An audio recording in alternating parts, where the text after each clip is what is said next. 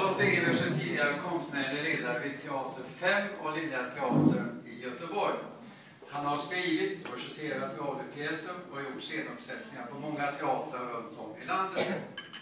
Han har undervisat vid teaterhögskolorna i Göteborg och Stockholm. Ja, det är väl sånt här man kan hitta på Wikipedia, men nästan hittar man inte på Wikipedia.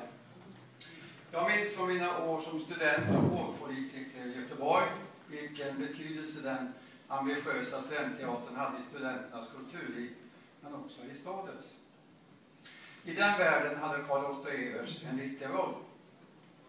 Carl Otto Evers kommer att bli ett viktigt namn i svensk teaterhistoria som författare till en dåres sånger, därtill starkt inspirerad av vännen Sven Botten. Carl Otto Evers får Gustaf Fröding-sällskapets guldmedalj. Så kommer motiveringen. För sitt inkännande porträtt av Gustaf Fröding under dennes sista tid i livet i pjäsen En dåres sånger.